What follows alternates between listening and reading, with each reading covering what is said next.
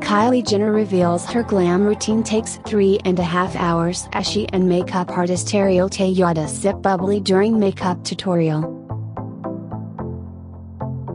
I am Opses welcome to my channel Showbiz Ops we upload daily entrainment news for latest news about showbiz please subscribe our channel and push bell icon for getting new updates daily.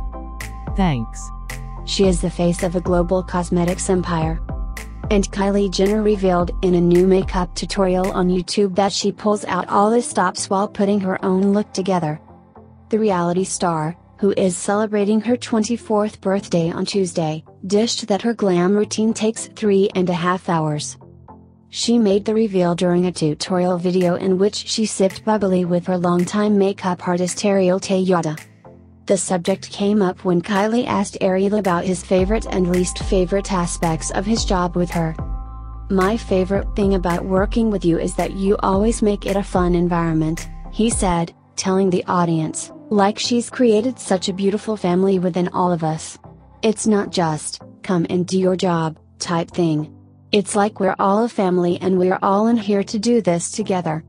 When he got to his least favorite part, he trailed off with a slightly nervous giggle until Kylie finished his sentence, that I don't give you my full attention sometimes? Ariel agreed with her and noted that she was always on your phone to the point that she misses his instructions when he tells her which way to look.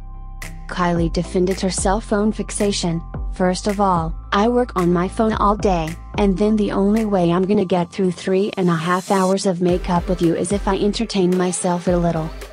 When asked about her own favorite and least favorite parts of the process, she once again brought up the length of her glam routine as probably the worst bit. But at the end I'm happy.